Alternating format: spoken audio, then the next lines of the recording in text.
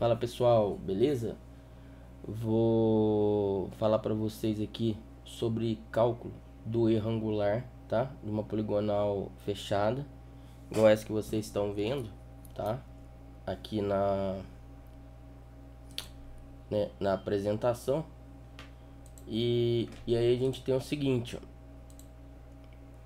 A gente tem aqui uma poligonal fechada, como vocês estão vendo.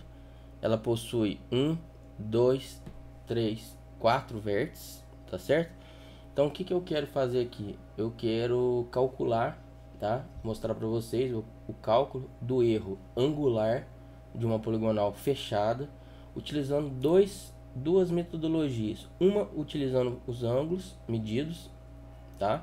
No caso eles podem, é, no caso aqui eles são internos, mas poderiam ser externos e calculando o erro angular utilizando os azimuths, tá certo? Aí eu calcular, vou ter que calcular os azimuths de todos os alinhamentos para poder verificar esse erro angular.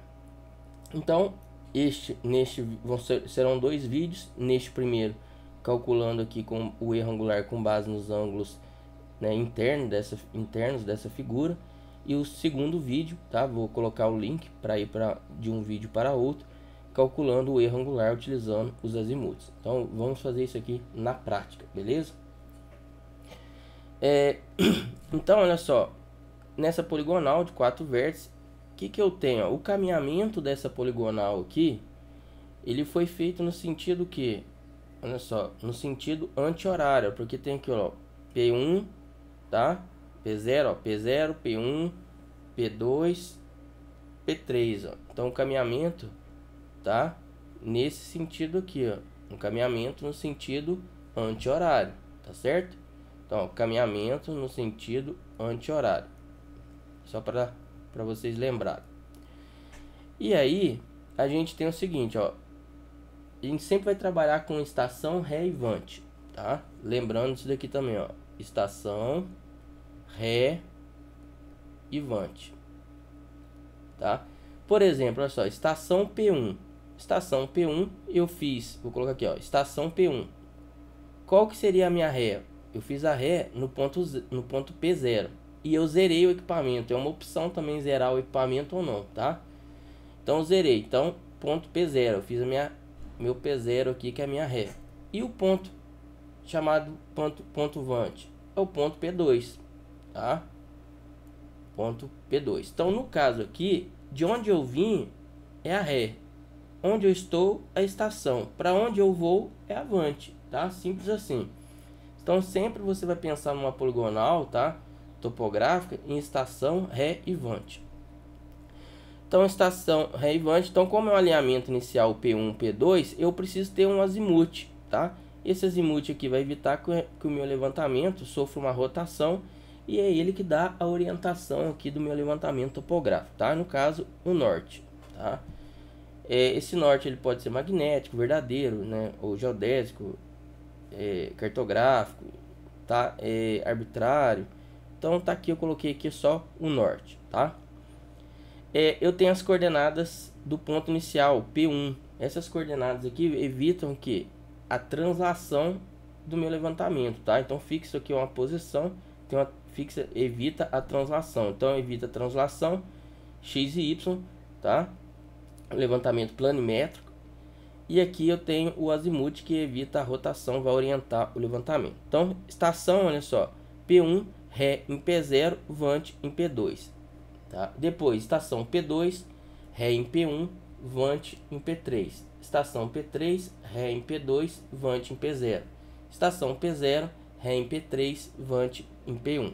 Beleza?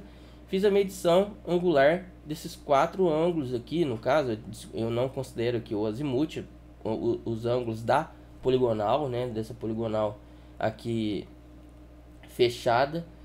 É, então, qual que seria o erro angular cometido, né? Primeiro, então, você tem que saber o seguinte, ó. É, você tem que saber como calcular quanto deveria dar a soma dos ângulos do seu polígono. Então, para um polígono qualquer, né, fechado, tá? Vou colocar aqui é, o somatório dos ângulos, né? Se você somar todos os ângulos medidos da poligonal, Né? Repara que esse azimuth não entra, tá? Eu tenho que... Porque o azimuth aqui serviu, tá servindo para a orientação do levantamento topográfico, tá? A medição são esses azimuths aqui, ó. Alfa P1, alfa P0, alfa P3 e alfa P2, tá? Então são esses ângulos. Então o somatório dos alfas ele vai ser igual ao seguinte, ó, 180 graus, tá? que multiplica n mais ou menos 2. O menos aqui para ângulos, se você mediu ângulos internos, então para ângulos internos, tá certo? Para ângulos internos. E o mais 2 para ângulos externos, tá? No caso aqui dessa desse vídeo, eu medi os ângulos internos, tá certo? Então, eu vou utilizar n-2. Então, o somatório aqui de alfa vai ser igual que? 180 graus, né? Vezes o que? n. n é o número de vértices, ó. Número de vértices. Porque, olha só, cada vértice aqui do meu polígono, eu medi um ângulo. Cada vértice eu medi um ângulo horizontal, tá? No caso aqui, ângulo horizontal horário. Então, vai ser o que? 4 menos 2. Então, isso aqui vai ser o que? 2 vezes 180, 360 graus. Beleza? Agora, olha só. O E, o, por exemplo, se eu somar aqui, ó, somatório de alfa aqui, de alfa, vou colocar aqui, ó, medido em campo, tá? Vou colocar aqui, ó, medido em campo, tem que ser igual ao alfa calculado, tá? Ao somatório de alfa, vou colocar aqui, ó, calculado, tá? Vou colocar aqui, ó, calculado. Então, somatório, tá? De alfa, tá? Vou colocar só agora aqui, ó, medido menos o somatório de alfa calculado vai ser igual ao erro angular, tá? Então, somatório de alfa medido menos somatório de alfa calculado é igual, soma, é igual ao erro angular. Se, é, se o somatório dos ângulos medidos aqui for igual a esse daqui, o erro angular é nulo. Beleza? Então, como que a gente vai fazer? Somatório do alfa medido, alfa aqui medido, vai ser igual ao que? Olha só. Vamos começar por alfa 1 alfa P1 mais alfa P2 mais alfa P3 mais o alfa P0, tá? Porque eu comecei aqui do ponto alfa 1. Então, alfa 1, alfa P1, alfa P2, alfa P3, alfa P0. Então, somatório de alfa, tá? Medido vai ser igual. Vamos calcular aqui agora. Vou mostrar para vocês o cálculo disso aqui. Então vai ficar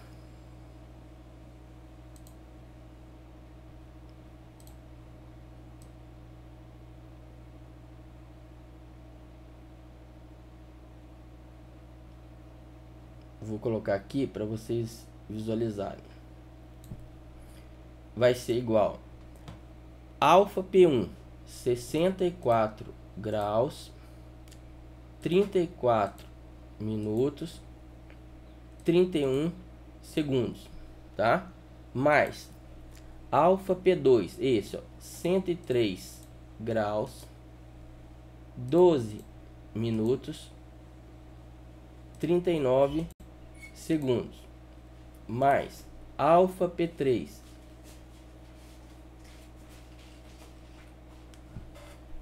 alfa P3 vai ser igual a 79 graus 20 minutos e 50 segundos. Tá certo? Então 79 graus, 20 minutos e 50 segundos. Mais o que? 112 graus, que é esse daqui, ó. Alfa P0. 51 minutos e 48 segundos. E isso vai ser igual, olha só, 359 graus, tá? Vou, vou colocar na outra posição aqui para vocês verem. Então deu é, 359 graus, 359 graus, 59 minutos e 48 segundos, tá certo? Agora olha só, repare, o alfa somatório aqui do alfa medido deveria ser igual ao alfa calculado. Então, repare que não chegou a 360 graus. Deveria, então, a gente fala que a gente cometeu um erro para menos, tá certo? Porque não chegou a ser a 360 graus. Se tivesse sido maior que 360 graus, seria um erro para mais. Então, o erro angular vai ser igual ao que? Olha só, somatório dos alfas medidos. Então, 359 graus, 59 minutos e 48 segundos, menos o que? 360 graus, tá certo? 360 graus, 0 minuto e 0 segundo. Então, aqui, tá? O erro angular, o erro angular vai ser igual ao que? Fazendo essa conta aqui para vocês,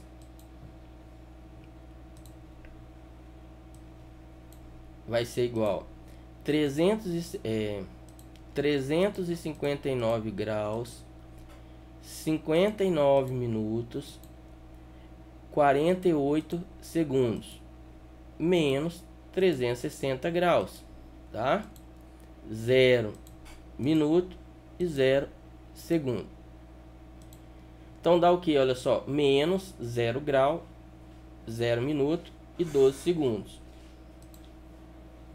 então, isso vai ser igual a menos 0 grau, 0 minuto e 12 segundos. Então, repara, o erro foi para menos, tá certo?